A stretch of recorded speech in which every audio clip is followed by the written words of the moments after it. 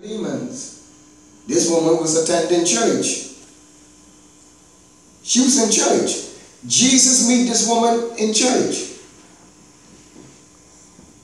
And she was bind up. And go ahead read. But when Jesus saw her, he called her to him and said to her, Uh-huh. Woman, you are loose from your infirmity. Did not bind her up to infirmity.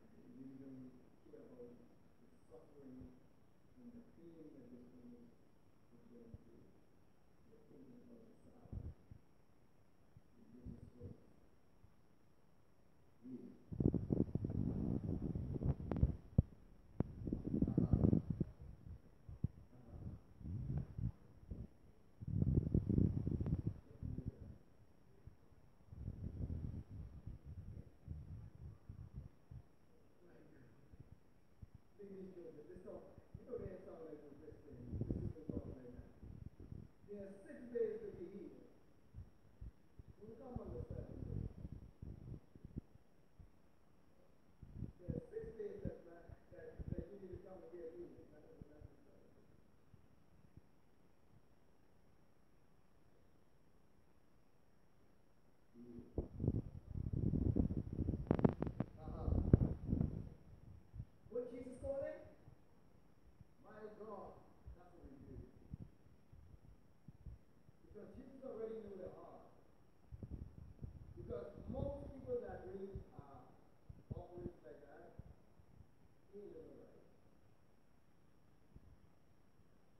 Read.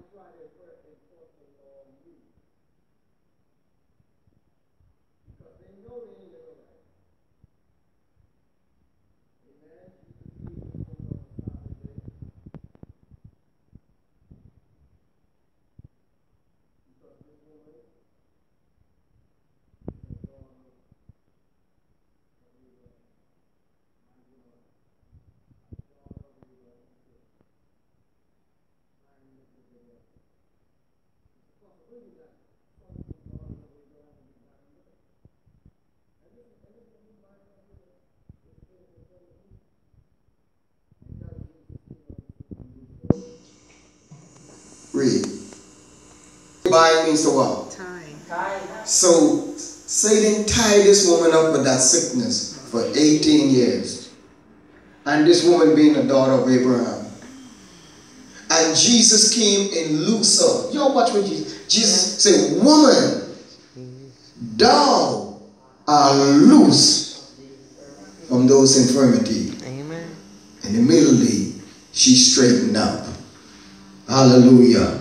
Immediately she straightened up. Because she was loose from that burden, that, that thing that had her tied up. She was loose from it. Amen.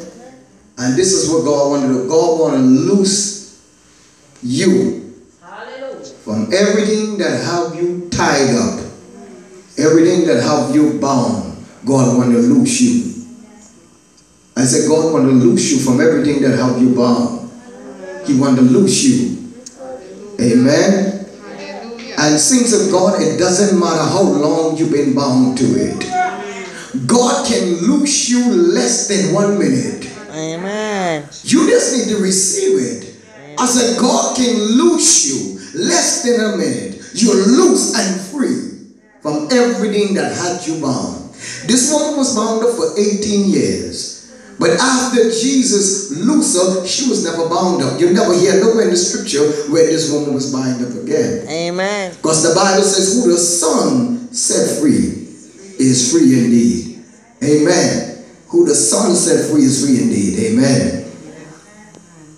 And this woman being the daughter of Abraham, that means she's a child of purpose. Amen. Anytime you you are called for a great purpose, the devil himself will try and bind you up. And I'm going to show you again in the scripture, again, that that man of God, a certain man that has been called to do a great work,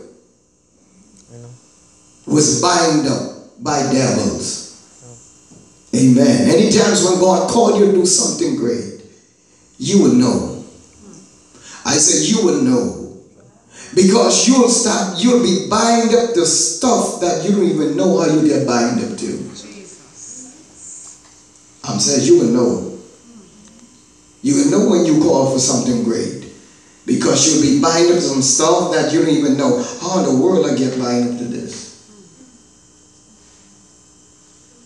The reason why the enemy does it, to stop you from fulfilling your destiny.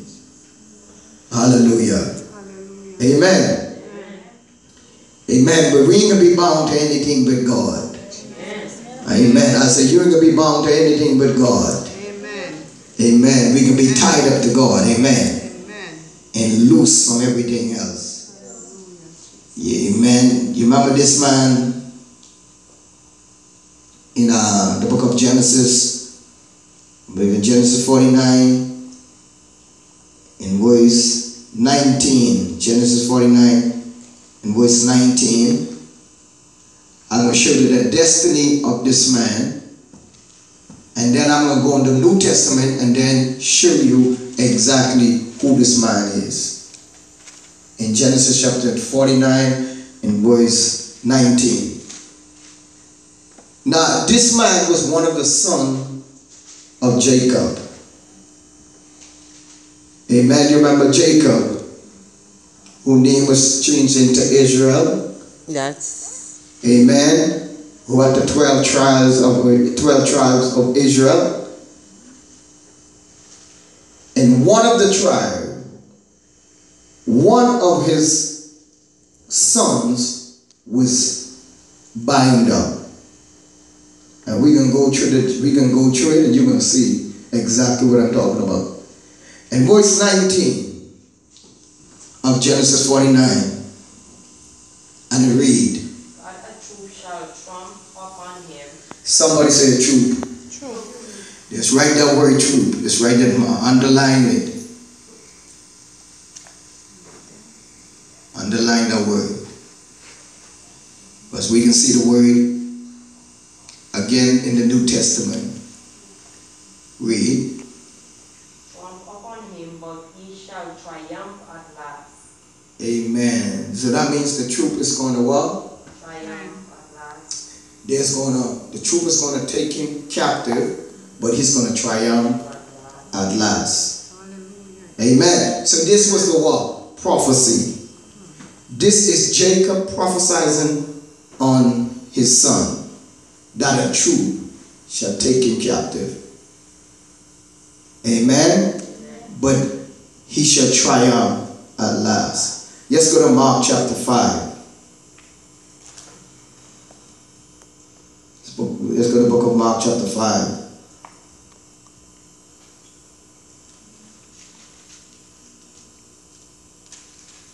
Let's start from verse 1.